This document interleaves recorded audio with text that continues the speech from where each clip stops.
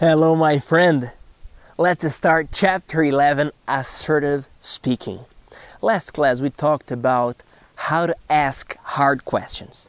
Today we focus in how to communicate better.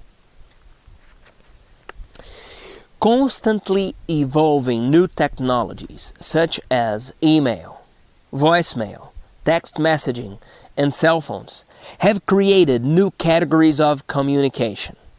These technologies have hugely increased the pace and efficiency of business contact.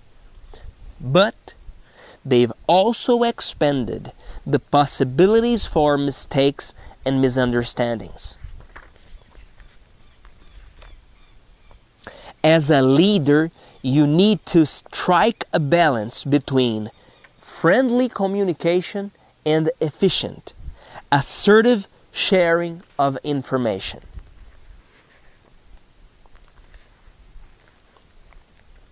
Three things you must follow to communicate assertively. One, you need to make sure that your message is understood. Two, you must understand what is being said to you. Three, you need to maintain control of the conversation. Three very simple steps.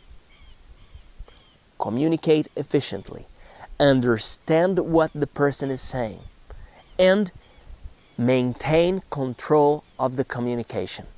How long must this conversation be? What is the best time to stop? What is the best time to start? What is the best time, the best moment to restart this conversation? Comment here about a hard conversation you've had. How did you start and how did you end this conversation? If you had the opportunity, what would you do differently? Share this video with your friends. Thank you very much. I'm Felipe Dib. See you next class. Today, five conversation tools to improve your communication.